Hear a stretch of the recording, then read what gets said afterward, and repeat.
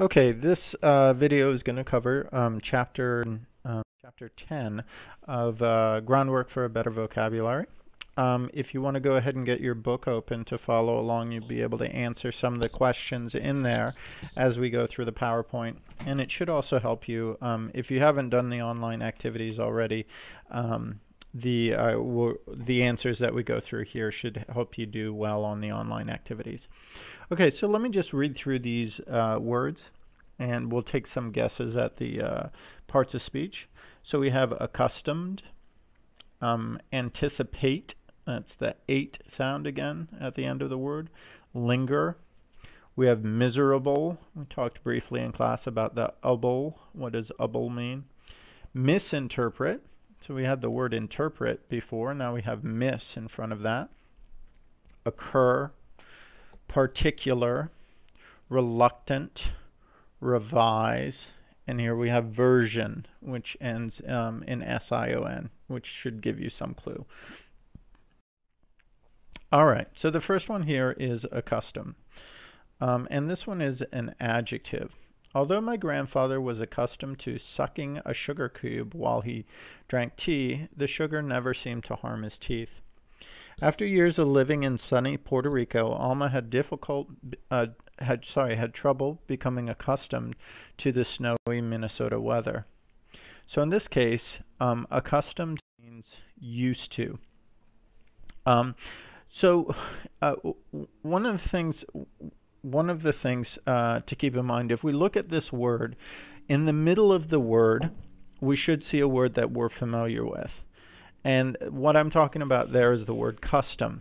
Now, we already had the word customary, and we said customary means normal, right? Normal for a particular situation. Well, what a custom means is that it means that something becomes normal for you, um, that something becomes not unusual for you. Um, so, uh, um, in in the first in the first example, I don't think that's the greatest example. But if we look at the second example, this one may be um, something that is familiar with you guys is that if you come from a country where there isn't a lot of snow um, and it isn't cold, it can be very difficult to become accustomed to um, the snowy and cold weather. Um, it's difficult to become accustomed to driving uh, in it. It's difficult to get to a situation where where um, where um, the snow is normal for you. So accustomed means that it, it becomes normal. Uh, it, it becomes normal. Something becomes normal for you. The one thing to keep in mind on there is that uh, if we look at accustomed, um, what word do you see that follows it? And you should see that to follows it in there. Um, so uh, that's a good clue for, uh, for the quiz all right, so here's our next one is anticipate. Uh, and it's got that 8 sound again at the end. And so this one's a verb. So Lee anticipated heavy traffic this morning.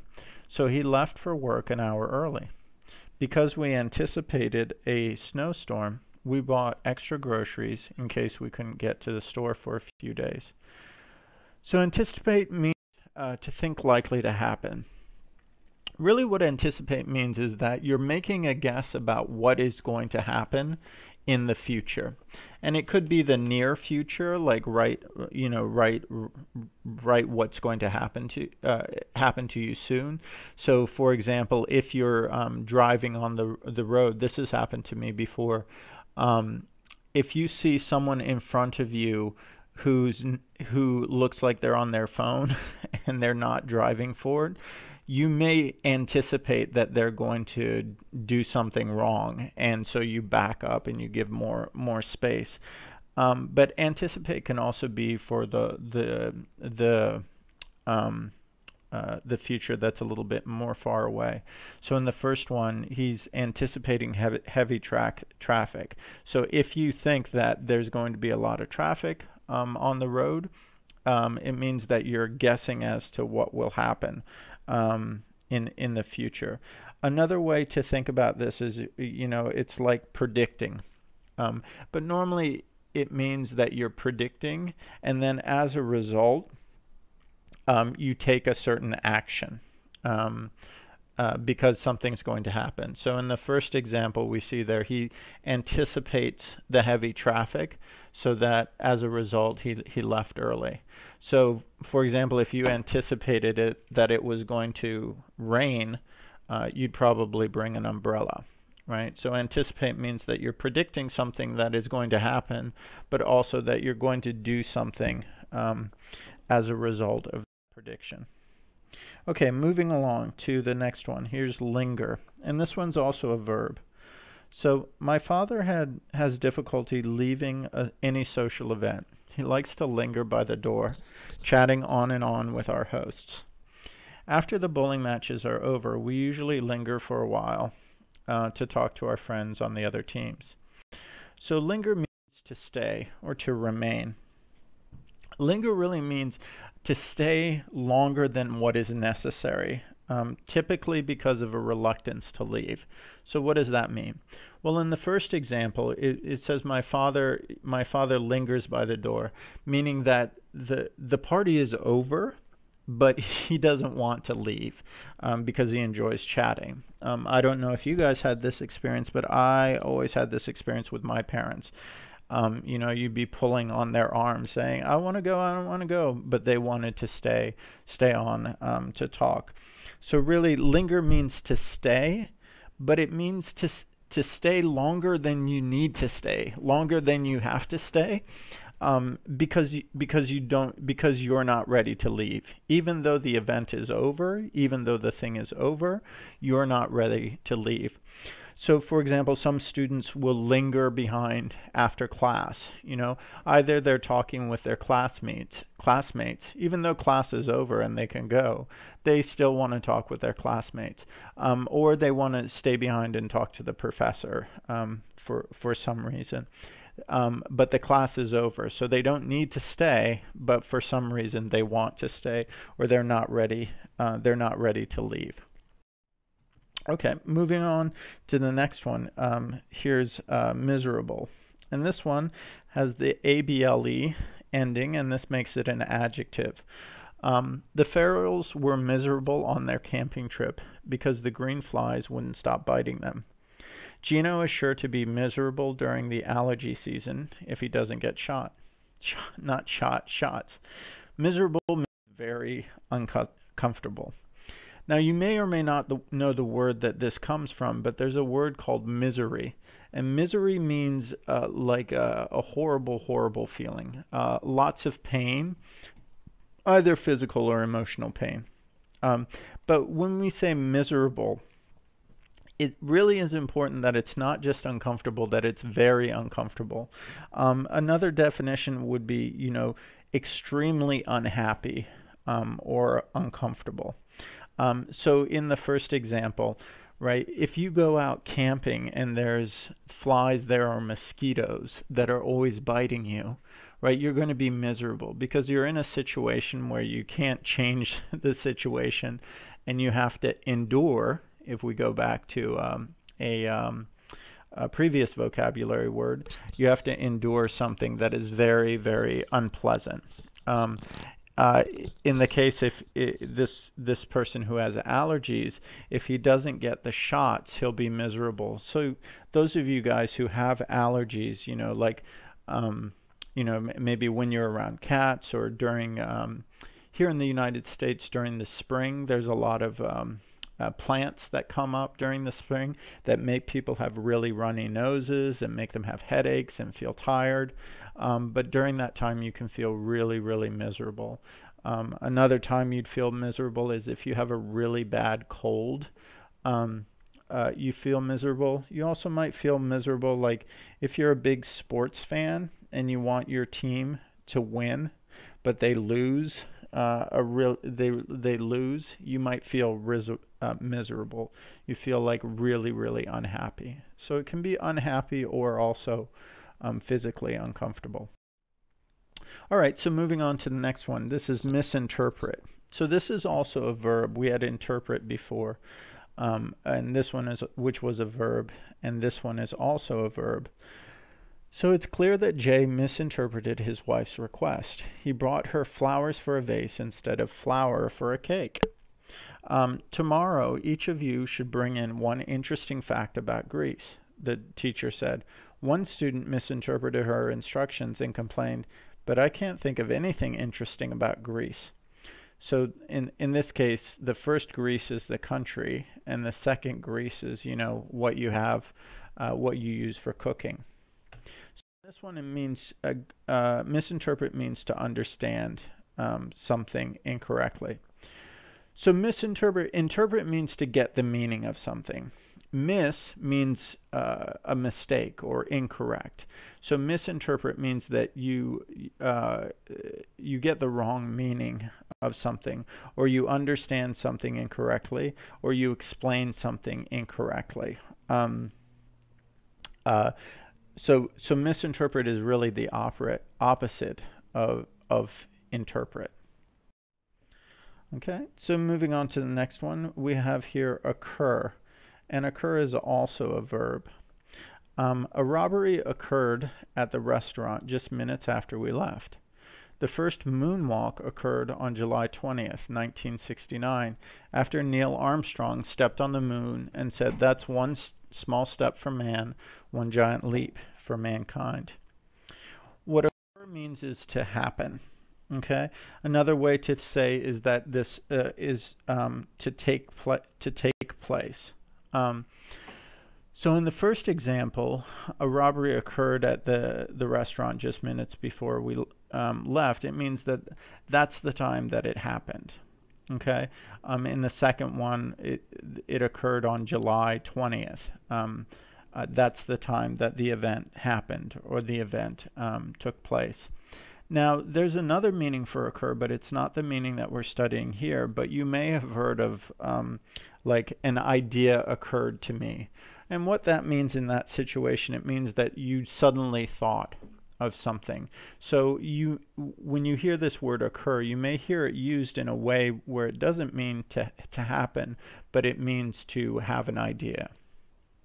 Um, but again, that's not what we're testing in this uh, in this class. All right, so our next one here is um, particular. Um, particular is an adjective. Uh, the, the girl I babysit for has dozens of games and toys, but she insists on playing one particular game over and over. Richie didn't care where he and Elsa ate dinner, but she had a particular restaurant in mind, the Mes Mexican restaurant on Fifth and um, on Fifth Street. So in this one, particular means special, or I would actually use the word specific. Um, because special has the sense of meaning of that something is um, uh, very good or unique or better for some reason. But particular really means that um, it's some specific one uh, from from a group. Um, so another way to think about it is this is used to sig single out an individual member of a spe specified group or class. Um, so in the first one it says there is a particular game, right? There's one one game, one specific game out of the group of games. There's one specific one that she liked.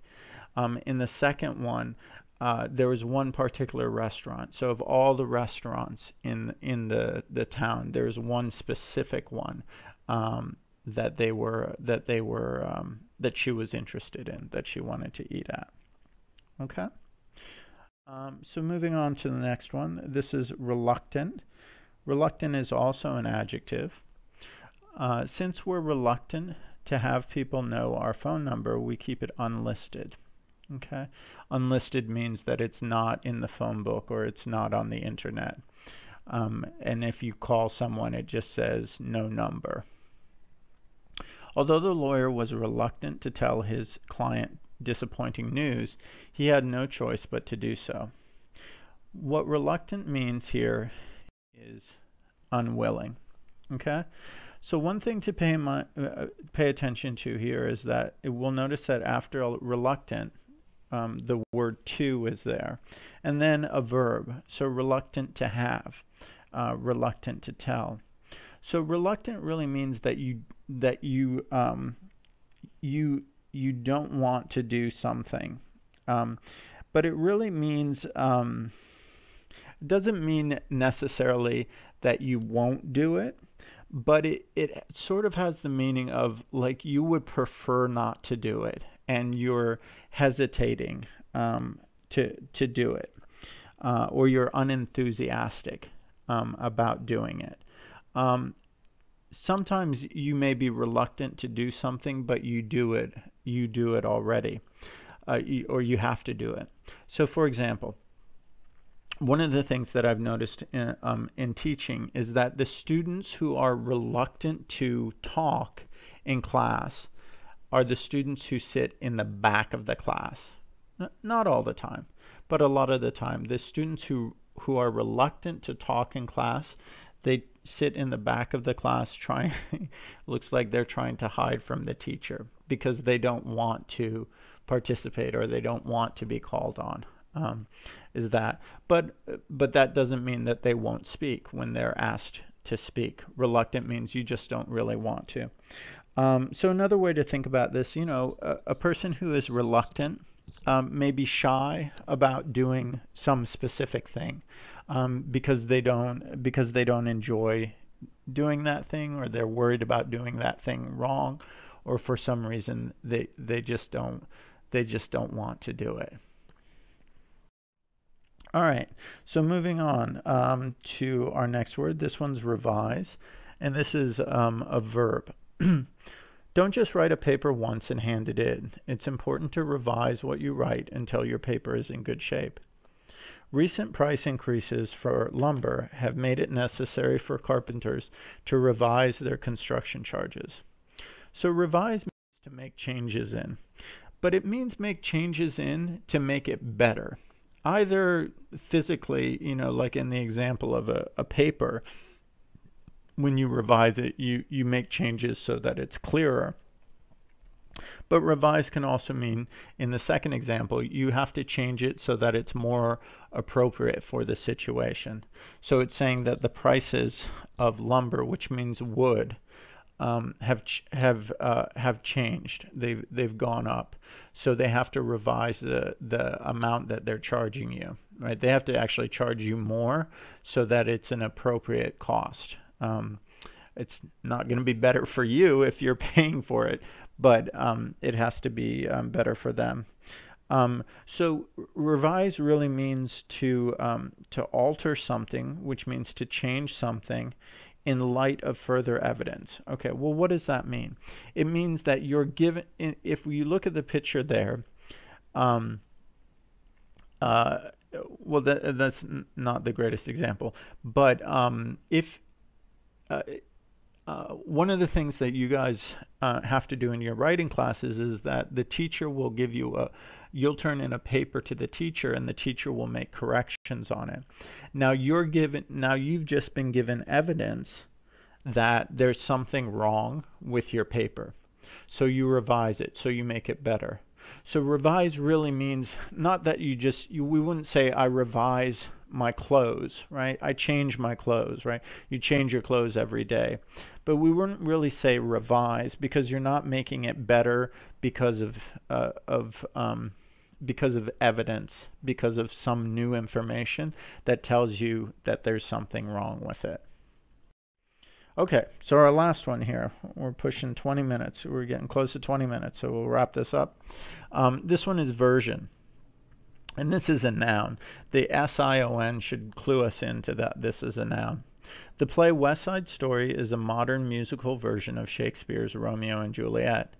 There have been at least six movies about Frankenstein's monster, but the best is still the 1931 version starring Boris Karloff. So what version means is a retelling. Well, what does this mean? Um, it means that it's it's a particular form of something differing in certain respects from an earlier form or other forms of the same thing. Okay, that may still not be that clear.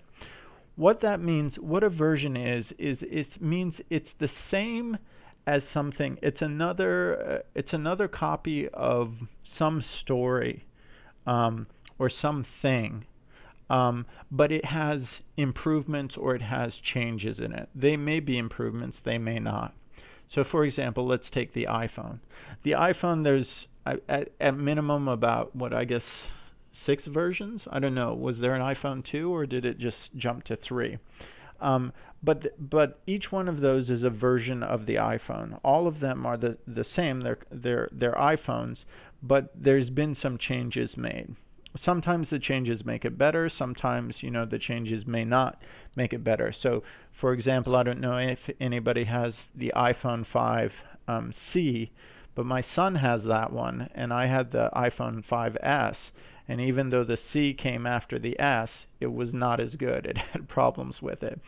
So a version doesn't always have to be better, but it means that it's mostly the same as something else, but there's been some changes. There's been some changes to it.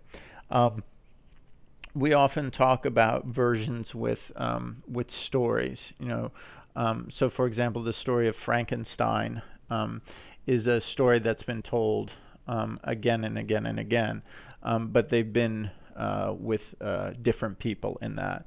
Um, if you like the British TV show Doctor Who, there's been lots of different versions of of that.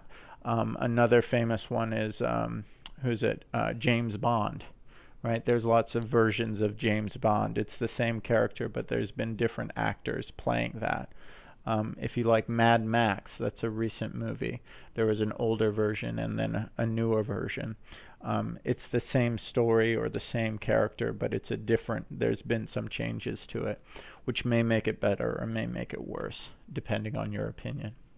Okay, so that's it. So what you want to do is is do the online activities for that, and we'll um, we'll do some work in class uh, with these words before we take the test. All right, take care. Bye.